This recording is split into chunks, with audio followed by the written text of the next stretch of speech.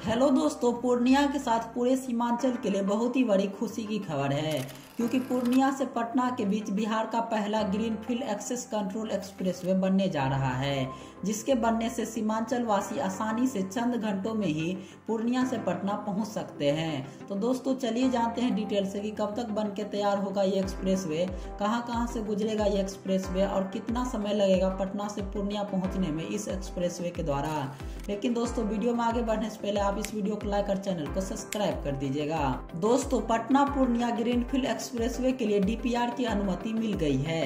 ये बिहार का अपना पहला ग्रीनफील्ड एक्सेस कंट्रोल एक्सप्रेसवे बनेगा, जिसके लिए मंत्रालय ने एजेंसी भी तय कर लिया है। इसका मतलब इसका निर्माण कार्य अब तेज़ी से शुरू हो जाएगा।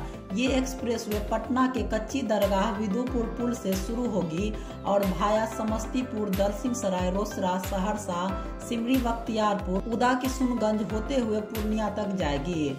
बात करें अभी पटना से पूर्णिया की रूट की तो अभी पटना से पूर्णिया जाने के लिए दो रूट है। जिसमें पहला रूट है भाया मुजफ्फरपुर, दरभंगा, सुपौल, फॉरबिसगंज होते हुए लगभग आठ घंटे में पूर्णिया पहुँचा जा सकता है।